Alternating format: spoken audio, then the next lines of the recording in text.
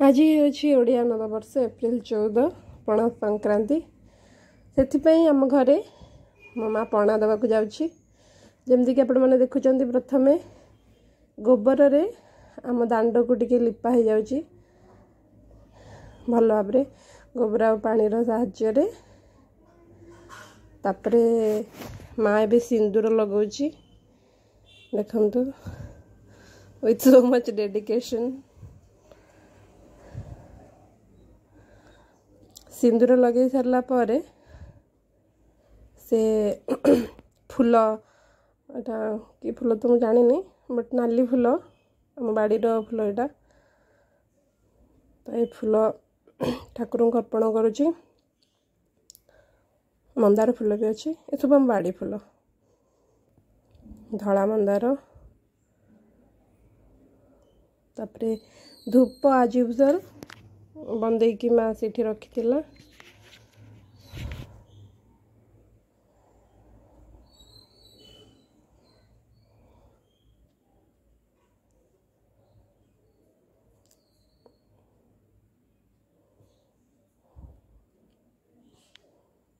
ଦୀପରେ ବନ୍ଦେଇବ ଏବେ ମା। ସେ ଆକ୍ଚୁଆଲି ମାଆର ଜଣେ ସବର୍ଡ଼ିନେଟ୍ ଷ୍ଟାଫ୍ ଯିଏକି ମାଆକୁ ଦେଖିକି ନମସ୍କାର କରିକି ଗଲେ। ଝୁଣା ଧୂପ ଦୀପ ଏସବୁ ଦିଆଯାଏ। ତାପରେ ଏଥିରେ ମା ଭୋଗ ଦେବ ଯେଉଁଟାକି ଗୋଟେ ସ୍ପେଶାଲ୍ ଭୋଗ ଥାଏ ପଣା ସଂକ୍ରାନ୍ତି ଅବସରରେ ଯେଉଁଥିରେ କି ଆମର କ୍ଷୀର ଛତୁଆ କଦଳୀ ଏବଂ ଗୁଡ଼କୁ ଗୋଳା ହୋଇଥାଏ। ସେ ଭୋଗଟି ଦିଆଗଲା ଦିଆଯିବ।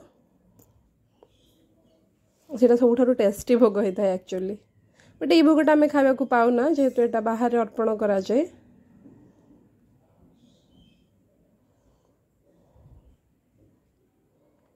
ଆମ ଓଡ଼ିଆ ସଂସ୍କୃତି ଆଉ ପରମ୍ପରା ଅତୀବ ନିଆରା।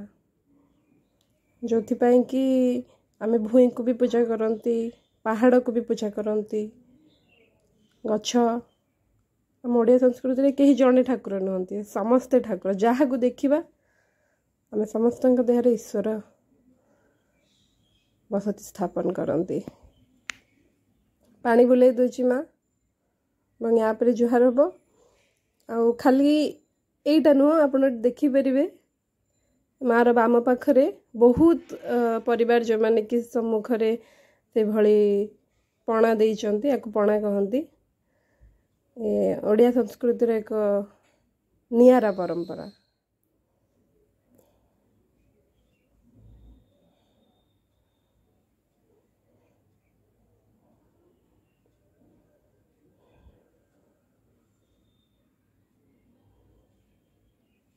ସମସ୍ତଙ୍କୁ ପୁଣି ଥରେ ଓଡ଼ିଆ ନବବର୍ଷର ଅନେକ ଅନେକ ଶୁଭେଚ୍ଛା ଏବଂ ଅଭିନନ୍ଦନ।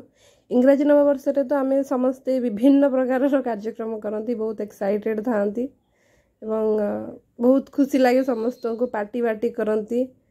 Thirty first night but Odia ନବବର୍ଷରେ ସେମିତି କିଛି ବିଶେଷ କରନ୍ତିନି ବଟ୍ ହଁ ଆଜି ପଣା ପିଅନ୍ତି। ପଣାର ଭିଡ଼ିଓ ବି ମୁଁ ଅପଲୋଡ଼ କରିବି। ବଟ୍ ଆମ ସଂସ୍କୃତି ସତରେ କେତେ ମହାନ ସତରେ କେତେ ନିଆରା ସତରେ କେତେ ଭଲ। ଦେଖନ୍ତୁ ସେପଟ ସାଇଡ଼୍ରେ ଆକ୍ଚୁଆଲି ଆଜି ଗୋଟେ ପର୍ବ ଆମର ଅଛି।